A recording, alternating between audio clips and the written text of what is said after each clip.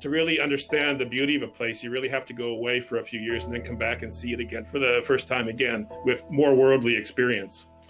So that's what I did. Like many before him, Derek Grant came to the realization that it is only by leaving that he could truly appreciate home. And that home is Kennebecasis Valley in southern New Brunswick. I started photographing of things that I'd been missing for several years, including covered bridges and whales and boats and wildlife and butterflies and foxes and on and on and on. Derek started taking photos on an impromptu trip to India two decades ago, but his true passion for photography took off quite literally on September 7, 2014, at the Atlantic Balloon Festival.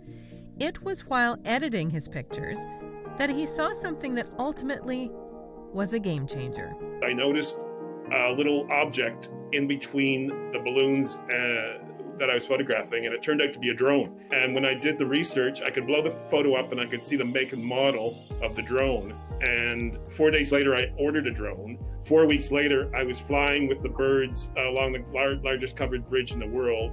And then four months later, I had a viral video on ice shacks uh, along the Kennebecasis River. I asked him to expand on the story of the ice shacks and why that video in particular struck a chord globally. He says that people in warm climates like South America were both fascinated and a little concerned. Why we would choose to go in a very cold winter and live in these ramshackle ice shacks, seemingly enjoy and have such great uh, fun outdoors. That was what really got their uh, their attention. In 2018, the drone was the ideal tool to capture the moments after the St. John River spilled its banks, causing a devastating flood.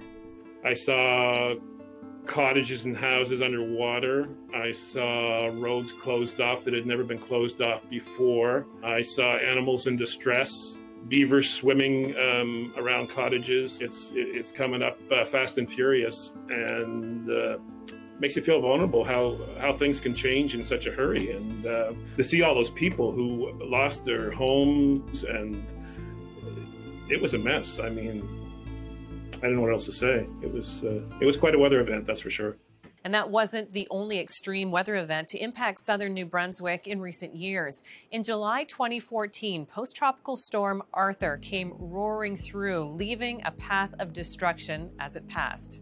I went out in the middle of it, and at one point, I was stuck between a, a, large spruce tree that had fallen down on one side, and when I went to back up, another tree had fallen down. I had to wait for the crews to come and, and cut us out. So there's a bunch of cars trapped. That's another like extreme weather event that I had not seen before in this region. Derek, known as Nature Paparazzi on social media, may have weathered some storms, but his love and appreciation for the beauty of New Brunswick is obvious.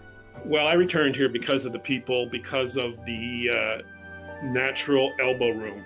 Wanted to get back here so I could be at one with the outdoors again and to enjoy that natural element.